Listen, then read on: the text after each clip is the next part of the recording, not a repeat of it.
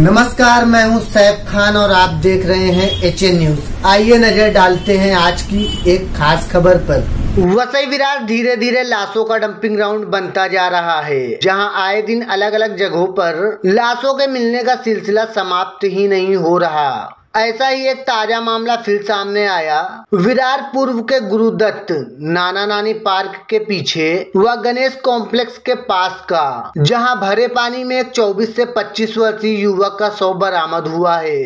वहीं स्थानिकों द्वारा विरार पुलिस को इसकी जानकारी दी गई। वहीं पुलिस ने घटना स्थल पर पहुंचकर शव का पंचनामा कर उसे एंबुलेंस की मदद से पोस्टमार्टम के लिए भेज दिया है। वहीं पुलिस ने शव की शिनाख्त मदन संजाल के रूप में की गई। वहीं मदन मूल रूप से नेपाल का रहने वाला था और नाला सोपारा पूर्व के अचोले स्थित स्वागत बार एंड रेस्टोरेंट में वेटर का काम करता था। मदन गुरुवार को रात साढ़े सात से आठ बजे के दरमियान पेट दर्द बताकर बाल से छुट्टी लेकर निकला और रात के दस बजे के आसपास अचोले में अपने चाचा से मिला और उसके बाद उसे एक फ़ोन आया और वो वहाँ से चला गया। तब से मदन लापता था, जिसका शव विरार पूर्व स्थित नाना नानी पार्क के पीछे पानी में तैरता मिला।